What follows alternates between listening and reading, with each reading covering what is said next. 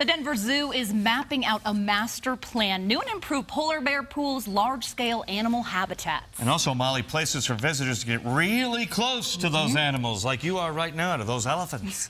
the Now's Kristen Scovera stopped by the zoo to pull back the curtain on the master makeover. This lion's plans don't extend further than a midday cat nap.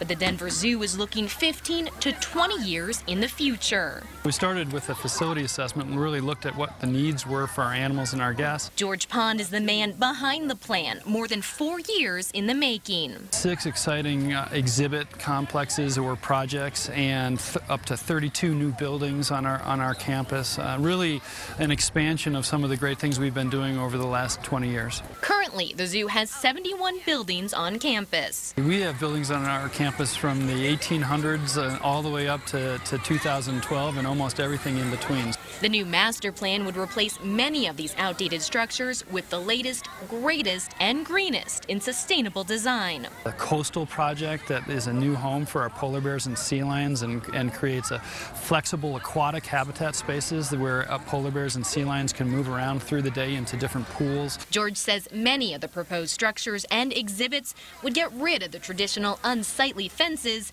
giving guests a truly wild experience.